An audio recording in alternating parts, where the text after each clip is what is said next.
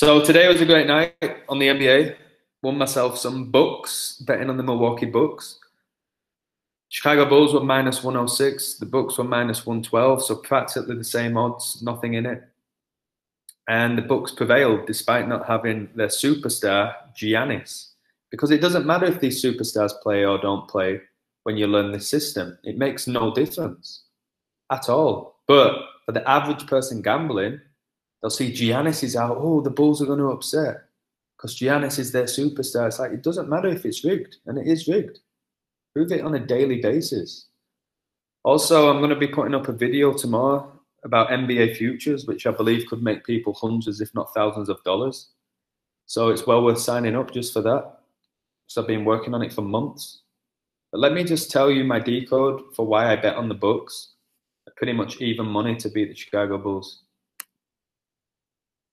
So, as you can see, Bucks are minus 12, Bulls are minus 106, practically the same odds. So Bucks can advance to 39 wins on 39 date numerology, and you can see here they advanced to 39 wins and stayed on 24 losses. Chicago equals 37, and Milwaukee equals 37, and Chicago got the 37th loss. And the Bucks coach's upcoming birthday is in three months and seven days, like 37. 37 is the 12th prime number. That was really important because I know 12 goes hand in hand with the Bulls, which I'll get to know. And today had 12 date numerology and also was the 120th day of the year, like 12.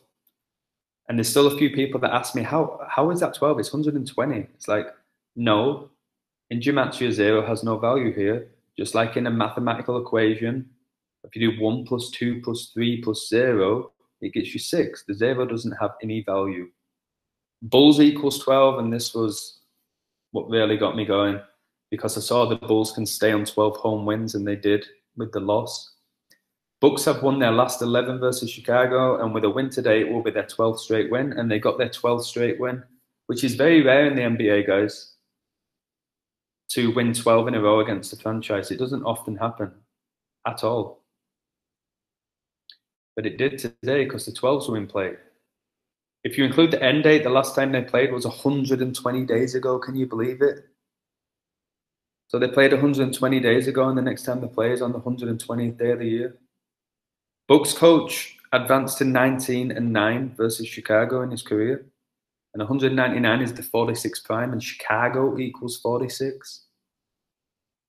And the game, guys, was 460 days after the death of Kobe. And all these games are connected to him, which I said from the very first week of the NBA. All the games are connected to him. And then you'll find plenty of games connected to LeBron because he's the franchise player who's going to get his fifth ring this year. I said the Bucks can stay on 14 away losses, and the game is exactly 14 weeks before the book coach's upcoming birthday. This is not by accident, guys. It's not by accident what I find. It's not cherry picking. It's incredible information that wins me a lot of money. And more and more people are waking up to me and sending me messages and asking me to decode things and saying, Thank you for sending me that tip. Won me a lot of money. It's like, my pleasure. I'm more happy that you're actually starting to believe in it and question it and look into it yourself. So today at 75 date numerology. Again, Kobe equals 75. Pretty much every game today was revolved around him, but I'm only going to decode this one for the video. Bulls coach can stay on 56 wins at home versus Eastern Conference opposition, and Bucks equals 56. And that number 56, guys, is a monster number. A monster number. Bucks coach can pick up his 260th win, and he did. Bulls can stay on 26 season wins. That happened. And check this out, guys. Check this out.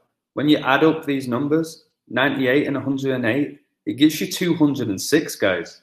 It gets you 206 total points. And you think it's by accident that the Bucks coach picked up his 260th win, like 26, the Bulls stayed on 26 wins. And then in the game, there's 206 points, like 26. You think that's by accident? And Kobe died on the 26th day of the year, and his last name Bryant equals 26. and he's from born in Philadelphia, which equals 101, the 26th prime. No, it's not by accident. It was the Bucks' 63rd game of the season, and I said the Bucks coach can stay on 63 losses as their head coach. That happened. Bucks can pick up their 12th conference loss, though. This was a few things for Chicago, but I, I backed the Bucks, told people to back the Bucks. That 120 is the 15th triangular, and they can pick up their 15th away loss. Michael Vincent Budenholzer equals 407. That's the coach of the Bucks, and 47 is the 15th prime. Bulls coach, his birthday is on the 150th day of the year. However, the Bulls coach can pick up his 105th home loss, like 15. Remember, Kobe equals 15. So there was a few things for the Bulls, but you can see here, not a lot. Like here, like about 30% of the decode or less was for Chicago. But yeah, so this is a tough one to call, but I have found more on the Bucks. And the 27s did worry me slightly because it's a ritual number. But then I realized, you know what? You know what? Like 27 doesn't really have any connection to the date numerology today. It doesn't really have any connection to Kobe unless the word ritual. But I did see this that there is 27 weeks between the coaches' 2021 birthdays. Bulls can get their 27th season win and Bulls coach can pick up his 270th career win. So if the riddle was all about 27 today, it, it was the Bulls' game. And this is what they do, they trap people. But I'm getting better and better every day at picking the better riddle. And I was like, you know what? This is all about 12. I know how connected the Bulls are to this number. So it makes complete sense. I was like, these 27s, they're really fascinating. They're interesting. It's the ritual number because ritual equals 27. But there's no real connection to today's game to that number. And that's where I'm getting way, way better. So again, fantastic. And like I said, there will be a video going up tomorrow about NBA futures. This is just a sprinkle of the stuff that I do.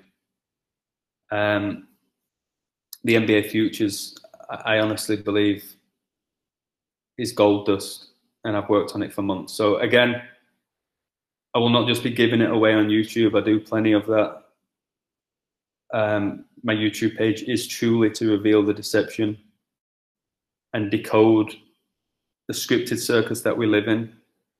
But obviously, I have a Patreon page and I've got some loyal followers, amazing people, and they deserve the content, not for me to just give it to everybody. So there you have it. Milwaukee Bucks beat the Bulls in yet another scripted, nothing but actors NBA game.